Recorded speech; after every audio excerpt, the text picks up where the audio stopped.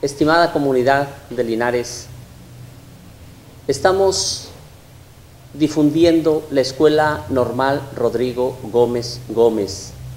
Este es su cuarto aniversario, una normal particular que está dándose a conocer por resultados en la región. Queremos agradecer a todos los padres de familia que han tenido la confianza en mandar a sus hijos. Esta es una escuela normal, igual que todas las normales, con permisos ante la Secretaría de Educación a nivel Estado y a nivel federal. Queremos agradecerles y decirles a la comunidad que este cuarto aniversario, alumnos de licenciatura en educación primaria, y de licenciatura en educación especial están integrados a las escuelas primarias, a instituciones educativas, haciendo su servicio social este cuarto y último año. Es decir, para el 2018 vamos a dar, a entregar a la sociedad la primer generación de profesionistas de la Escuela Normal Rodrigo Gómez Gómez.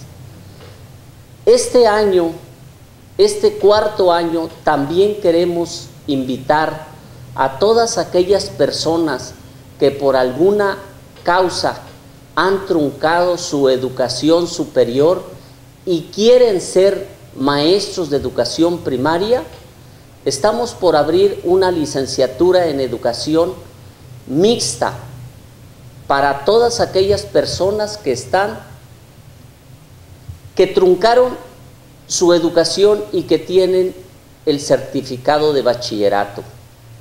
Queremos decirles que esta licenciatura va a estar aquí precisamente en la Escuela Normal Rodrigo Gómez Gómez, es calle Pino Suárez con 16 de septiembre, ¿Qué características tiene esta licenciatura?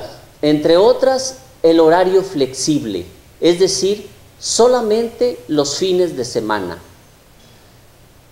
Lo que sí queremos decirles es que no va a ser posible el mismo tiempo, tal vez sea un poquito más de tiempo que ya nos pondríamos de acuerdo con solamente con los interesados.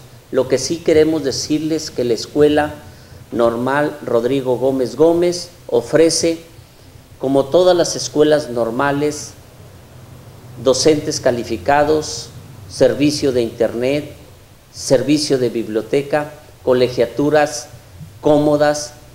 Esto con la finalidad de que todas las personas que desean ser docentes en educación primaria puedan tener cupo en esa licenciatura. Queremos abrirla este año escolar. Ojalá y tengamos el número de alumnos que nos exige la Secretaría de Educación.